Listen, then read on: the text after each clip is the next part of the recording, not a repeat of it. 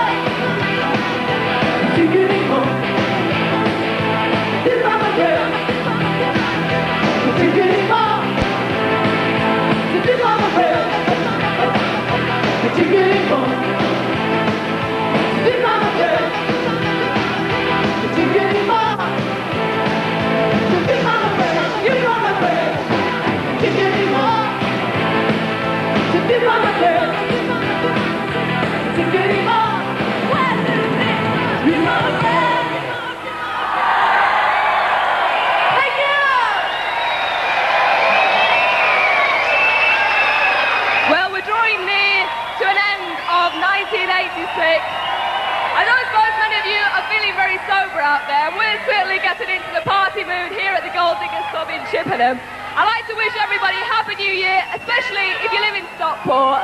And here to bring in 1987 in true raunchy style is none other,